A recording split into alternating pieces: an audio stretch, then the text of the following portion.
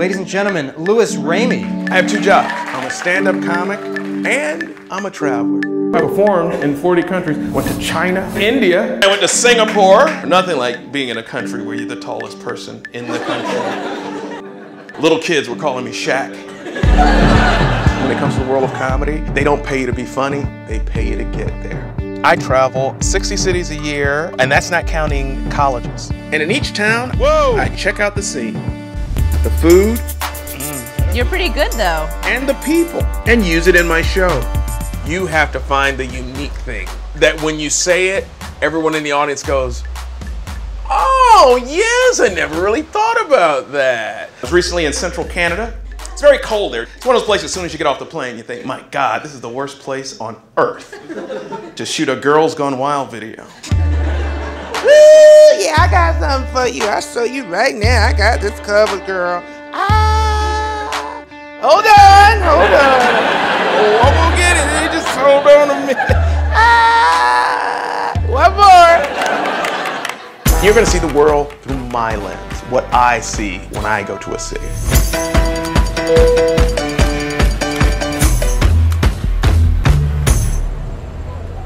It's been a great week. I went to Vegas, I've been to Connecticut, and now I'm in Boston all in one week. This gig's just like any other gig, except that there's a camera crew following me. I didn't know that much about Boston, except for the accent. You know, pack the kai, glass of water. Unless you're Kennedy, then it's pack the kai in the water. Ah, too soon? When I get to a city, I try to find experts that know the area.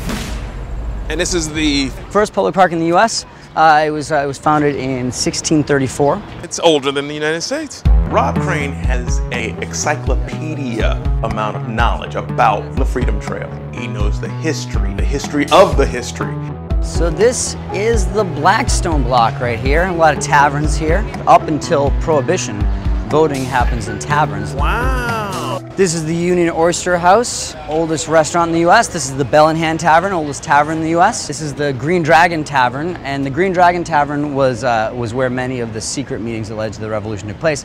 Well, why did it say 1773, 1776? What, that, what do those dates mean? I look at this every single day. Did I just, did I just stump you? You did just stump me. Why would it say 1773, Just 1776? stumped the expert. 76 has some associations Wait right here. to me.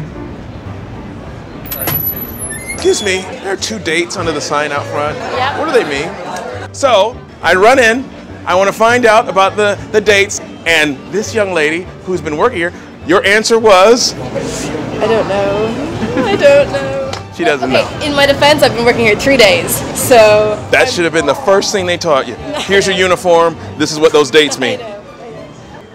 Know. Could you explain to me why uh, the sign has two dates, 1773 and 1776? because that was the period of much unrest here in Boston, and it inspired people at the Green Dragon to protest British rule. Oh, okay. Has anyone ever told you you look a lot like Liam Neeson? Yes. Oh, Jesus! Are you serious? No! I will find you. Wow. What are the chances? We found colonial Liam Neeson. What is this? So this right here is our new Boston City Hall. Wow. Yeah, it's really ugly. It's, we built it like this on purpose, and in 2006, it was voted the ugliest building in the world. In the uh, world. In the world, yeah.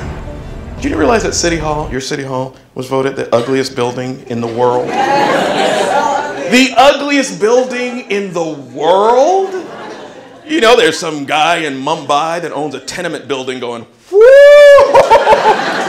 See, I told you, the uh, Venetian blinds, it changes the whole look of the building. Oh, thank you, Boston! Yes! You are number one! You're here at Boston Harbor. If you're going to do something on the water in Boston, it should be lobstering. Okay, we ready? I'm ready. We need to get you suited up so Yes. you don't get all wet and dirty. Wet and dirty, that was my nickname in college.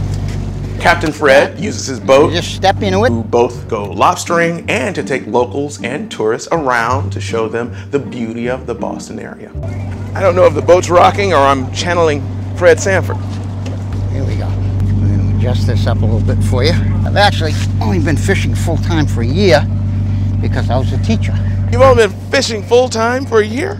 Other than that, I fished in the summer. So how long have you lived in the Boston area?